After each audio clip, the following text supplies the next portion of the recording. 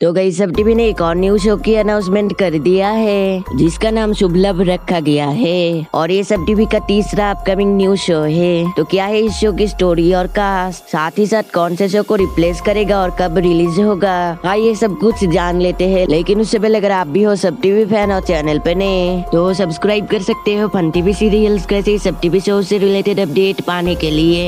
वैसे तो आप लोगों ने इस शो की स्टोरी लाइन इसकी प्रोमो में ही देख लिया है। तो सबिता नाम का एक महिला, जिनके घर में पैसों की बहुत ही कमी है। वैसे उनके पास थोड़ा बहुत पैसा तो है, लेकिन वो माँ लक्ष्मी की बहुत बड़े भक्त है। लेकिन लॉटरी या फिर कम्युनिटी फंड उनके नसीब में ही नहीं है। भाई द वे गाइस इस शो में सिर्फ़ ये सभी नहीं दिखाया जाएगा। साथ ही साथ एक नेगेटिव कैरेक्टर भी होंगी, जिसका रोल आफरीन भी निभाएँगी। और छवि पांडे इसमें माँ लक्ष्मी का रोल निभा रही है। साथ ही साथ तनिषा मेहता भी हमें इस शो में देखने को मिलने वाला है। अफरीन अलवी का तो मैंने पहले ही बता दिया है। पूनम, सिरने और मनन जोशी भी इस शो में दिखने वाले हैं। इन सब के साथ साथ ही मिथिल जैन और दीपक दत्ता भी कोई ना कोई इम्पोर्टेंट रोल को प्ले करेंगे।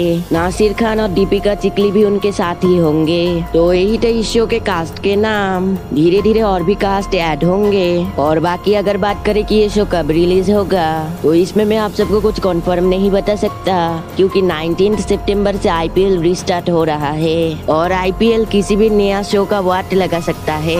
और मुझे नहीं लगता कि इस शो को आईपीएल से पहले रिलीज़ किया जाएगा। और अगर न्यूज़ की माने तो ये शो सितंबर तक ही आ सकता है। बाकी कुछ कंफर्म नहीं पता। और बाकी अगर बात करें कि ये शो कौन से शो को रिप्लेस करेगा और इसकी टाइमिंग क्या होगा तो आप सब लोग बोल रहे थे कि ये सात बजे की टाइम स्लॉट लेगा। लेकिन कोई भी नया शो को सब टीवी डायरेक्ट सात बजे नहीं डालेगा।